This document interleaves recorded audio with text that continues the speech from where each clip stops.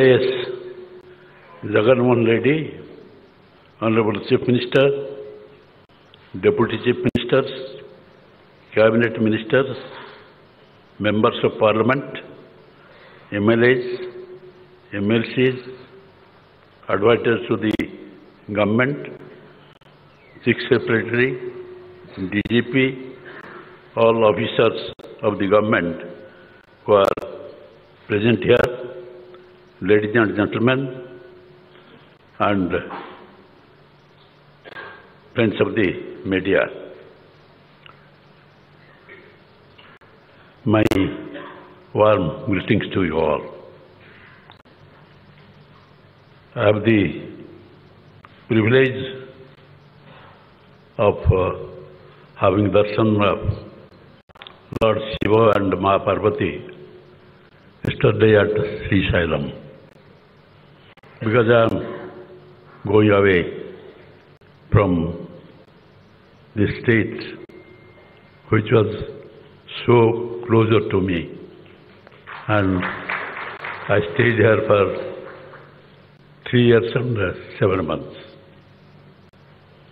In the morning, I also take the blessings of Ma Durga.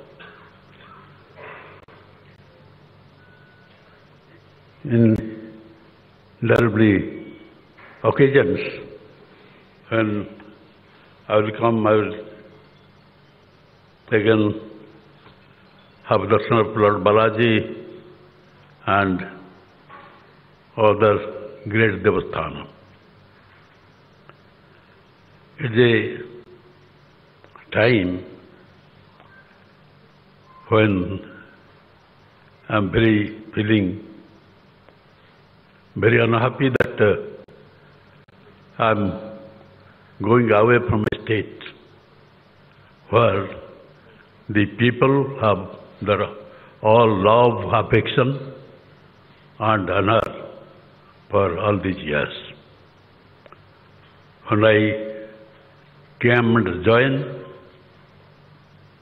the treatment which are given by Jaganji, our Chief Minister, I cannot forget. And the relationship with the Governor, Chief Minister, on different issues which are necessary for the people had been discussed. I was extremely happy that a number of welfare schemes have been promoted by the Chief Minister. And no section of the people has been left. So in my primary discussion, I told him that how can you implement so many schemes? And he said that somehow God will bless and uh, I'll be able to implement these schemes.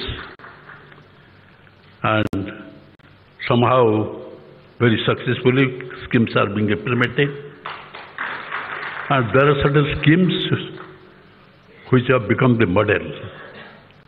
Once the Chief Minister also sent the Secretary Agriculture to explain me about Rythu Bharosa Kendra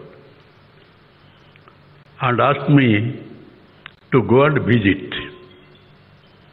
I had visited Rythu Bharosa Kendra and I was so much pleased that whenever I discuss with different dignitaries and the people who are interested in it, there is a, this is a model in the country. Because the largest section of the people, perhaps 65% or 70% people are farmers. And all their problems are being taken up in the Rythu Bharosa Kendra, starting for the testing of seed, soil, and providing of fertilizers, pesticides, etc. And most significant thing is that the farmers, they bring the produce to the Rythu Bharosa Kendra and uh, they get their price. And there are perhaps 1100 Rythu Bharosa Kendra in the, all over the covering the whole state. And in this matter also, while meeting the Prime Minister, I have said that there is such a nice scheme in Andhra Pradesh. And this is the matter. Because this is the largest section, the people who are the producers and feeding the nation. And the matter of agriculture, Andhra Pradesh is definitely far ahead of in many other states. And this scheme is a model scheme. And regarding health matters and the- during the pandemic, COVID-19 pandemic, the way the matters are handled by the minister and the type of cooperation which has been given by the people and our Red Cross Society and some other voluntary organizations, they extend their hands of cooperation and work through the people. And the doctors specially, whom the Prime Minister has said that the frontline warriors, entire doctor fraternity come to the rescue of the people. It is something unique.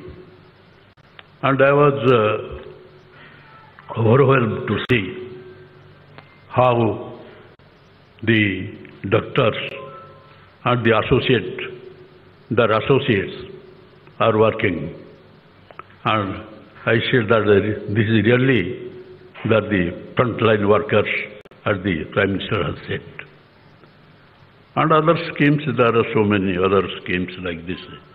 Arogyasri, and this is a state in which Arogyasri and at the same time the Ayushman Yojana both are being implemented. And Chief Minister is always trying to see the welfare of the state. We as politicians, our governor, minister, any social worker, the ultimate aim is the people, the society, the nation. And for them, anything done is definitely to be praised. And if you don't look to the people, look to the society, what they meaning of the government? And here, all attention have been focused on the people, and therefore the Chief Minister has floated so much of scheme. And now, with the relationship that has been developed with the Chief Minister, as if he, I feel that he is a member of the family, and similar connection is there. And as a governor, as also I had a tried to see that there should be a harmonious relationship among the three wings of the state the judiciary, the executive, and the legislature. I tried my utmost to see that for the smooth running of the democracy, it is necessary and to some extent I have become successful. I thought that uh, till the end of this tenure, I will remain in Andhra Pradesh. I cannot forget the treatment, the honor, the love, the affection which has been given by all of you, the people Andhra, different sections of the people. They met me on different occasions, sometimes with some complaints, sometimes with some literary persons with their books, literary persons, intellectuals. So, on the whole, such a close relationship has been made among them.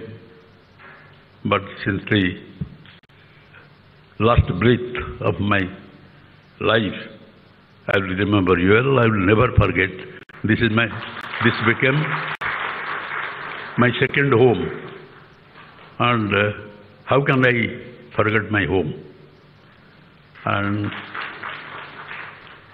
now I have been appointed as the governor of Chhattisgarh.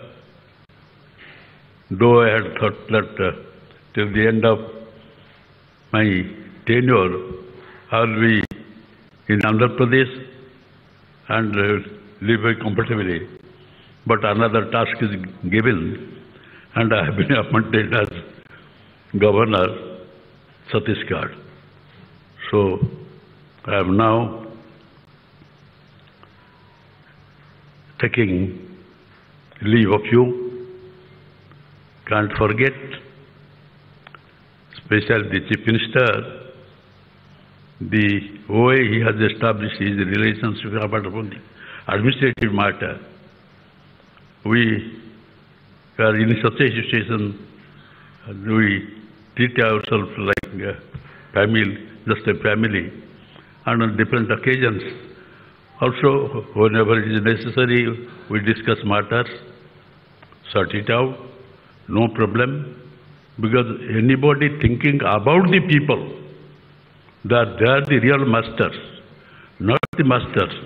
It is the necessity, it is the duty of the peop- everybody in administration to serve the people.